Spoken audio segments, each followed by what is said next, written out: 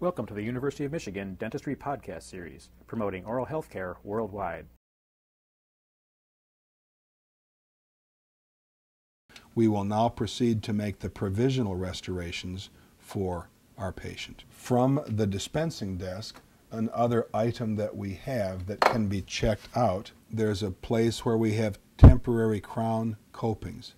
They come in a green packet similar to this. When we peel the packet back inside, we see a nylon sleeve or coping with ribs on the side of it.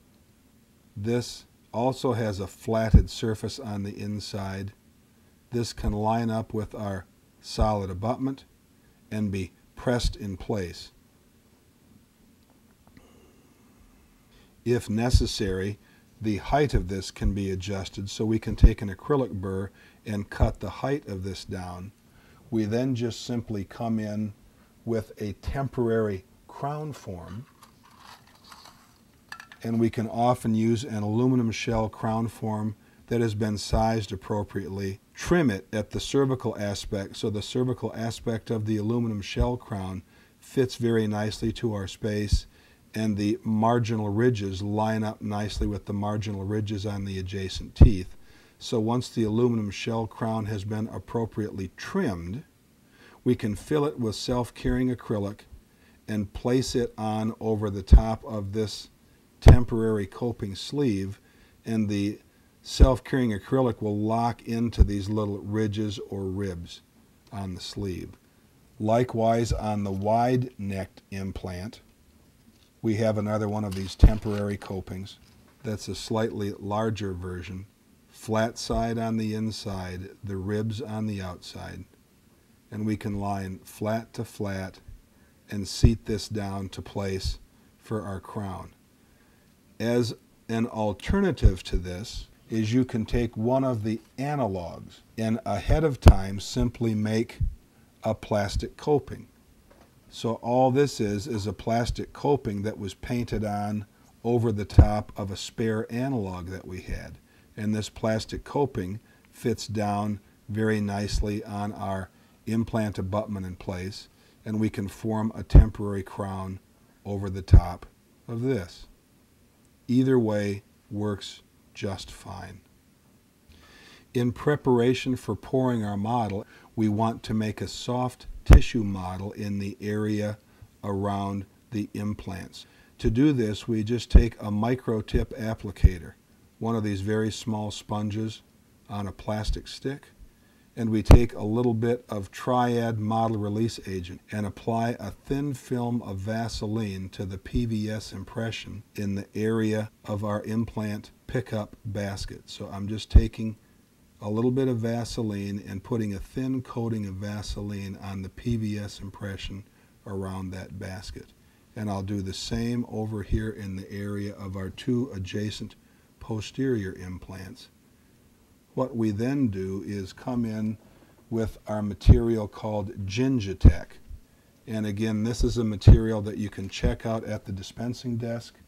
It's on our green requisition form toward the top when we use it, we want to use one of these very small mixing tips with the blue hub so that we don't lose too much of this material because it's quite expensive. And then one of these little extensions on the end of the mixing tip, which gives us a very fine point. And again, I place enough of that material to come up to the top of the impression basket. Now, if some of the Gingitech material gets on our analog, you can just take your micro brush and clean it away. I usually just wipe it on my hand. If a little bit of the Gingitech tries to go down into the impression of the tooth adjacent to our implant, you can just take your micro-tipped applicator and just carefully brush it or clean it out of the way. So what I'm left with is my Gingitech material that is surrounding my impression basket, but none is going down into the areas of the teeth adjacent. I'm now going to do exactly the same thing around the two implants on the other side and just flow it around the white impression baskets enough to come up to the edge of the white impression basket. So here again we've float our Gingia on so it comes up to the top of the white baskets. If any of it tries to flow down into the tooth space adjacent to it, just take your micro-tipped applicator and use a twirling motion. Roll it along that area and it will very nicely clean that Gingia right out of there. What we will now do is proceed to pour the model up with dental stone. In pouring the model up with dental stone, I find an easy way to do that is to use a styrofoam cup and some alginate to box this impression. So what we'll be doing is we'll be placing this impression down in some alginate so that we can box the impression and I'll show you what is involved in that. To make that easier, the first thing I want to do is to remove my tray handle. So what I'm doing now is simply cutting the handle off the tray. I take one of our old friends that we had used previously, our number 11 disposable blade, as a handle and stick it right down in the PVS material to pick this impression up with. So what I'm going to do now is mix some alginate with warm water so it sets up fairly quickly and I'm going to suspend this impression in the alginate mixed with warm water until the alginate sets up and it forms a boxing for this impression. So what I'm going to do now is to mix one packet of alginate with more water than would normally be used. For this purpose, what I do is I take one measure and fill it clear to the top. I take a second measure and fill it clear to the top. I take a third measure and fill it about two thirds full. So for one packet of alginate, I'm mixing it with one, two, and two thirds measures of water. So I get my packet of alginate open. put my knife back in my impression, place my alginate in my mixing bowl. So now what I'm going to do is go off camera just for a moment and I'm going to get two and two thirds measures of warm water. So I have my two and two thirds measures of warm water for my alginate and I'm trying to use fairly small mixing strokes. I also take my spatula horizontally through the mix to try to break up the small pieces of powder that inevitably are in my mix. What I will now do is take my alginate and pour it into my styrofoam cup. Take my impression and lower it right down in this cup and you can see when I lower that down in I'm suspending the impression in the alginate and you can see that much of the alginate physically flows into the inside of the impression. Don't worry about that at all because we're going to trim away the excess alginate once the alginate has uh, polymerized or come to a set.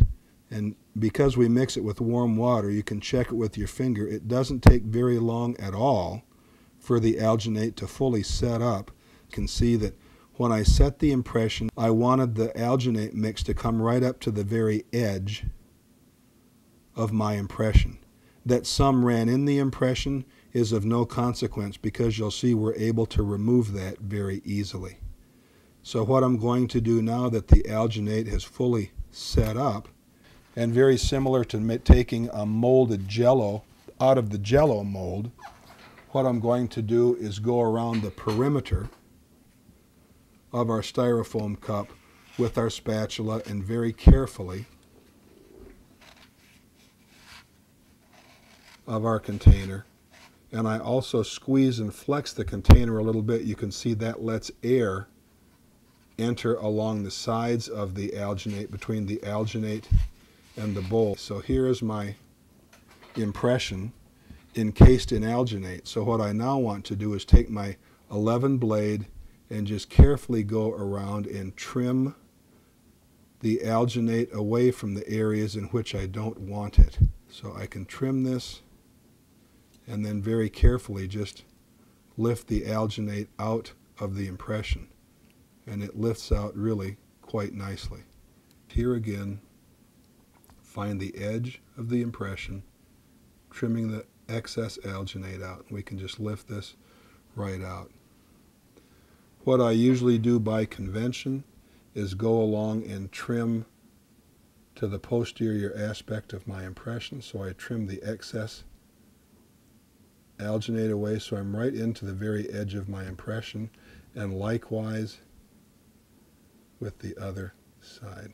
Now very often as I'm trimming this that you see happen here, I encounter one of these little inclusions of the dry powder. And this is just dry powdered alginate on your impression. What I do is prior to pouring this up now, I just replace my alginate back in the styrofoam cup that I had it in initially. If you just rinse this out with some warm water, just briefly rinse it out, it will very quickly flush any of this alginate away completely. And what I will then do is just mix up a packet of microstone, and I'm going to just pour this impression in microstone at the vibrator. I'm going to mix one packet of microstone and I'm going to go ahead and pour this impression right in this cup. And doing this procedure with the alginate material to embed the impression is called boxing the impression.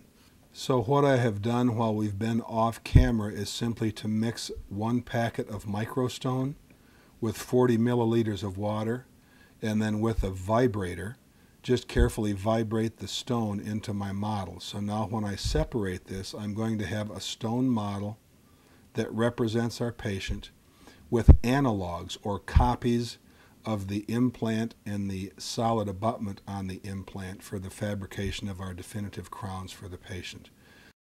You've been listening to a presentation from the University of Michigan School of Dentistry, which is dedicated to supporting open learning and open educational resources.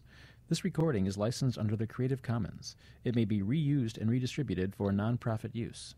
Please attribute materials to the University of Michigan School of Dentistry and redistribute under this same license. For more information on how this and other University of Michigan School of Dentistry recordings may be used, visit www.dent.umich.edu/license.